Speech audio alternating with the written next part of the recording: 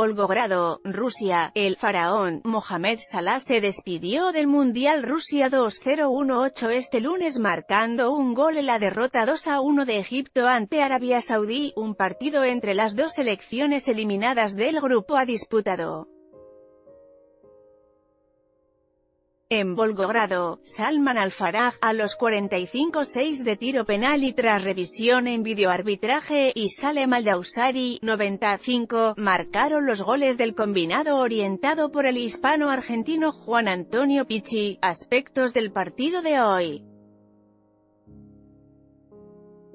Foto, AFP La estrella del Liverpool había abierto la cuenta a los 22 minutos con una magnífica definición ante el golero Yasser Al-Mosailem, en Samara. Por la misma llave, Uruguay goleó 3 a 0 a Rusia y se quedó con el primer lugar de la zona al sumar un puntaje perfecto de 9 puntos, mientras que los anfitriones quedaron segundos, 6, Arabia Saudí terminó tercera con un punto y Egipto cuarta sin unidades.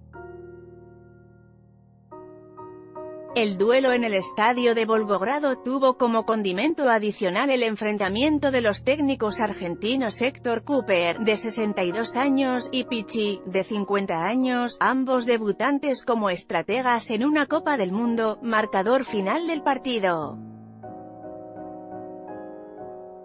Foto, AFP El partido, al que acudieron unos 30.000 espectadores, sirvió para que el golero egipcio Esam El Hadari se convirtiera a sus 45 años en el futbolista de más edad en disputar un partido en un mundial, batiendo el récord del colombiano Farid Mondragón, 43 años y 3 días, en Brasil 2014. El Hadari